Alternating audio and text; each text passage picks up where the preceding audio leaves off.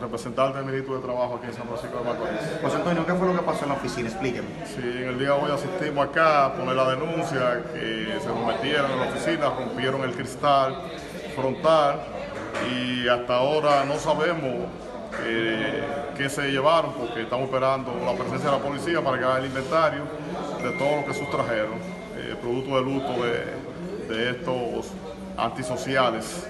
¿Cómo se percataron, José Antonio, de, de lo que ha ocurrido? No, no, en la mañana, esta mañana, temprano, cuando nos presentamos al lugar de trabajo, vimos que los cristales estaban rotos y todos los mobiliarios de oficina regados eh, eh, en la oficina. ¿Es la primera vez que esto ocurre? Correcto, así es. Bueno, sí.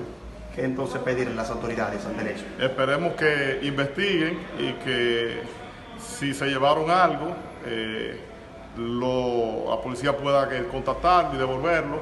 Y esos antisociales meterlos presos. Meterlos presos. ¿Dónde pasó Sí. este hecho, líder? En la Salcedo, esquina San Francisco.